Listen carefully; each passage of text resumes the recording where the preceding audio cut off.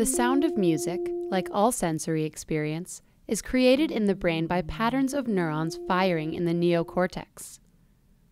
The neocortex has multiple layers of neurons.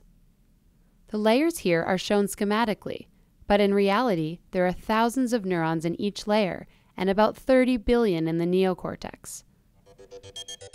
When you hear a song for the first time, each note triggers a specific pattern of neuronal firing.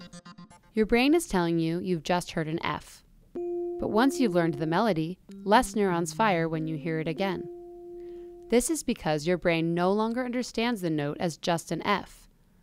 It now recognizes the song's melody as a sequence and understands that F as the F that comes after the C in this particular song.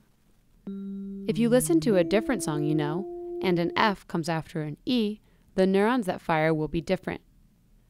That's because each note is part of a pattern, the song's melody, and your neocortex can tell the difference.